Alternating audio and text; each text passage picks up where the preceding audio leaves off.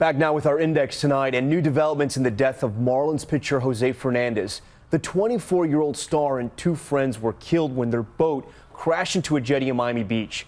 The toxicology report now finding cocaine in Fernandez's body and a blood alcohol level nearly twice the legal limit. It's still unclear who was driving the boat that night. And our first look at a dangerous rampage at an airport security checkpoint. Look at this video. New surveillance video shows the man approaching, then spraying officers with wasp spray. He then whips out a machete, many passengers running for their lives. It happened in New Orleans last year. That attacker, shot by officers, later dying of his injuries. And a possible abduction caught on camera, surveillance video revealing two men pushing another man into the trunk of a car parked outside of a Walmart. They get in and then drive away.